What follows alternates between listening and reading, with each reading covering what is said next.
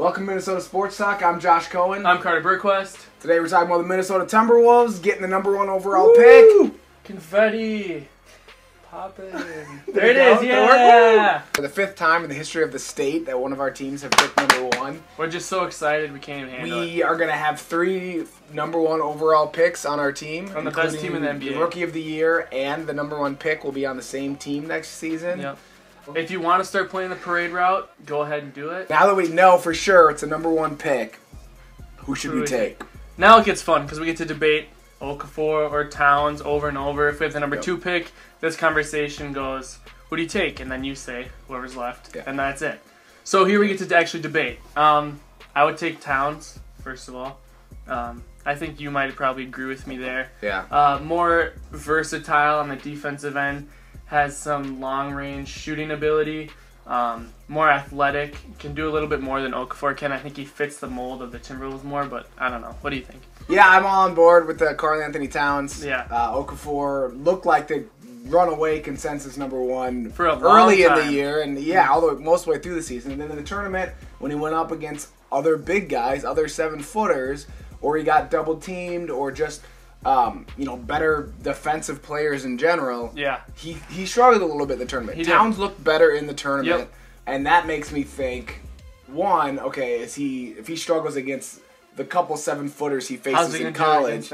Everybody in the NBA's got a seven footer, so that would make me want Towns. Obviously, the versatility, Yep. uh, the defense. He's got a little more in shooting. Can actually hit free throws. yep. Flip is gonna. He loves Kinda- the two way players. He's gonna kind of. Yeah, he does, and that's why I think he's gonna go there. Yep. I think he's gonna kind of milk this as long as he can because people are talking about the Timberwolves, Yep. and that's a good thing. But I think at the end of the day, he loves the two-way players. Uh, he said that, you know, Okafor is a really good post offensive Well, player. Best since Tim since Duncan. Tim Duncan, offensive big man, but Flip doesn't like a slow down half court kind No. of offense. Who's he been br- bringing in re- the last couple of years? Athletic athletes that can run the floor, uh, play multiple multiple positions, two way players. Yep. That's the kind of guy he wants.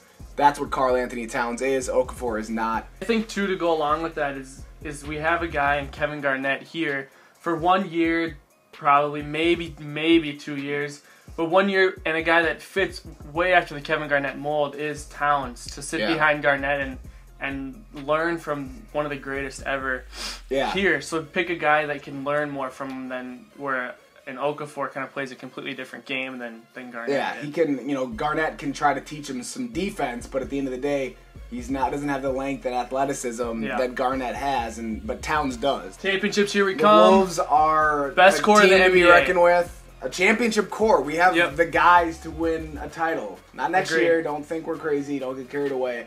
But we have the core. These The guys core can is there. develop, develop together, Yep.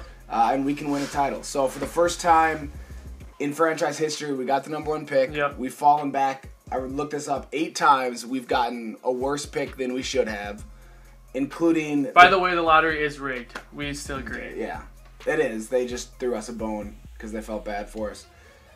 Including 92 and 2011, we were supposed to have the top. We had the worst records. 92 was when Shaq. Shaq came out. We got Christian Laettner instead because we got screwed in the draft.